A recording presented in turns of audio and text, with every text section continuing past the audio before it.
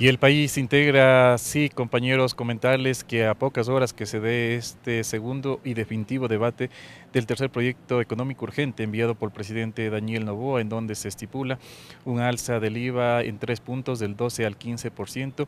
Existen todavía posiciones contrarias aquí en Asamblea. Una de ellas precisamente es de la bancada de la Revolución Ciudadana, quienes han señalado que no apoyarían esta iniciativa, que no eh, buscarían con esto contribuir eh, para los proyectos del gobierno, principalmente en este que es del incremento al IVA. Escuchemos lo que dijo la asambleísta Gisela Garzón se ratifican en el no al IVA y las otras propuestas, el apoyo sigue artículo por artículo. Sí, es claro, lo hemos dicho desde que recibimos el proceso y el proyecto eh, económico urgente, porque nos ratificamos además que la economía no es solo llenar las arcas fiscales de recursos, sino fundamentalmente entender que la cotidianidad, el día a día de las familias ecuatorianas requiere no estancarse y al ser una economía que en gran medida tiene consumo y no solo se refiere a los productos que no marcan IVA, sino fundamentalmente aquellos que sí lo marcan, sí lo graban, entonces las decisiones tienen que venir de la mano con, además, como dice la Constitución, impuestos progresivos, impuestos que tengan otro tipo de criterios como el impuesto a la salida de divisas y por eso lo hemos planteado. Además de la mesa hemos dejado claro que sí tenemos competencia legal y constitucional para hacer ajustes al proyecto económico urgente, porque una de las cosas que nos han dicho es que no se puede, que al ser iniciativa del presidente prácticamente tenemos que revisarlo y aprobarlo, entonces ¿para qué estaríamos aquí trabajando las leyes? Por lo tanto, nos ratificamos en ese tema, no al incremento del IVA, sí hay alternativas. ¿Qué alternativas? El tema de la salida de divisas, qué alternativas que la banca, que ahora resulta que es el más golpeado de los sectores del país, ¿no es cierto? Porque eso dicen, pues cargue el peso de la crisis y lo lleve adelante. Y además, tema de los grandes capitales. Hay una alternativa respecto a la votación por bloques que también nos preocupa, porque lo correcto, como dice la ley orgánica de la función legislativa, es se apruebe, se niegue o se archive, ¿no es cierto? Eh, y al hacerlo abre la posibilidad al veto. Si bien, digamos, votaríamos el tema de bloques del IVA, y eso se, se, niega en el Pleno de la Asamblea Nacional y los demás quedan abiertas la posibilidad, pues el veto puede venir ajustando también esos otros textos. Nos preocupa, sí, porque además en un momento donde pueden usarse artimañas más políticas que legales, pues que se ponga en riesgo la estabilidad de la economía de las familias del país. Pues Extraoficialmente hemos conocido que incluso se convocaría un pleno el viernes para tratar el veto porque tenemos hasta el sábado, que es 10 de febrero. Y eso nos abre la posibilidad de que en efecto el presidente lo pueda vetar y la Asamblea tenga que agilitar el conocimiento del veto. No sé si en tiempos es correcto o no, pero eso es lo que nos han dicho. ¿Ustedes van por el archivo el día de mañana? Es uno de los escenarios, sí, el archivo es uno de los escenarios. Además, el presidente puede presentar otro económico urgente contemplando otros temas. Es uno de los escenarios del archivo y lo hemos dicho desde el principio. ¿Y el otro escenario cuál? ¿El informe de minoría? El otro escenario son los informes de minoría porque son dos. Eh, en términos prácticos y siendo lógicos, el informe de minoría que presentamos, no porque sea mi bancada, sino porque es el que más recauda, debería ser el que cuente con la aprobación de la mayoría del Pleno, porque es el que más recauda en dos años. Nos ha planteado el gobierno en el económico urgente que la recaudación tiene que al menos ser para dos años, ¿no es cierto?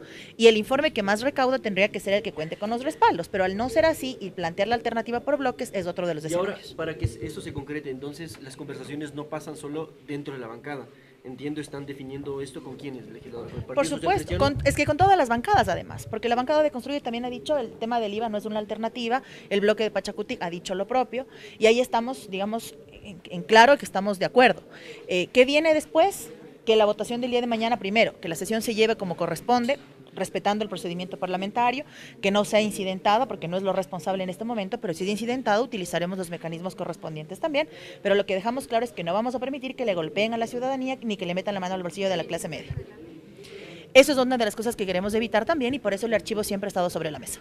Desde el movimiento Construye, en cambio, se ha mencionado que se existe la posibilidad también que pase este proyecto por el Ministerio de la Ley o que se lo llegue a, vetar, pero que al momento se espera que dentro de este segundo y definitivo mm, debate se logre buscar un consenso al interior de las bancadas legislativas, principalmente de las que son más grandes, la Revolución Ciudadana y el Partido eh, Social Cristiano. Escuchemos lo que dijo Paul Buestán.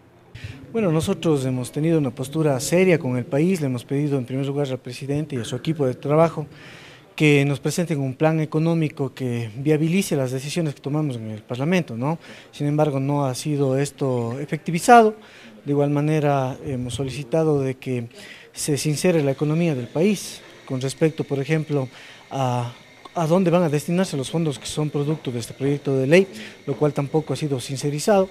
Eh, por ejemplo, si todos estamos luchando contra la inseguridad, contra la corrupción, contra la criminalidad, hemos dado muestras de aquello en el Parlamento y también con los proyectos de ley que hemos presentado, pero creemos que es necesario que sobre todo exista seriedad por parte de lo que se dice y lo que se hace desde el gobierno. No tenemos hasta ahora respuestas respecto a nuestras observaciones en aspectos como por ejemplo la temporalidad del IVA, eh, ya se tiene en el proyecto un punto que es fijo, eh, no ha sido escuchado nuestro requerimiento, tenemos otros espacios que eh, le hemos pedido al señor, al equipo del trabajo del señor presidente que se nos dé luces, pero por ejemplo los discursos hoy se destinan esos valores para pagar sueldos de los funcionarios de varias carteras del Estado. Hoy la ministra ha dicho necesitamos recursos para atender la crisis carceraria y también para dotar a la policía, ¿no? Bueno, eso es un discurso, pero sabemos que no tenemos en este momento, por ejemplo, eh, están funcionarios impagos, incluso se están incumpliendo sentencias constitucionales como es la de los funcionarios judiciales. Son sentencias que, eh, por ejemplo, rezan en que los cinco primeros días de cada mes tienen que ellos cobrar sus, sus, sueldos, ¿no? Y se los está quedando impagos. Y esto puede tener repercusiones en materia constitucional, como por ejemplo la destitución de los funcionarios públicos.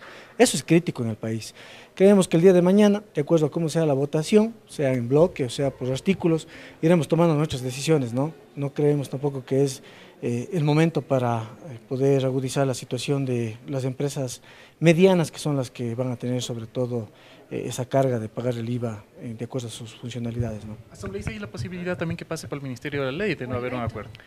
Bueno, yo creo que lo serio con el país, lo responsable es que en el Parlamento se discuta y se trate, sobre todo con el tema de lo que estamos eh, representando a cada uno de los sectores del pueblo ecuatoriano. Eso debería ser lo responsable.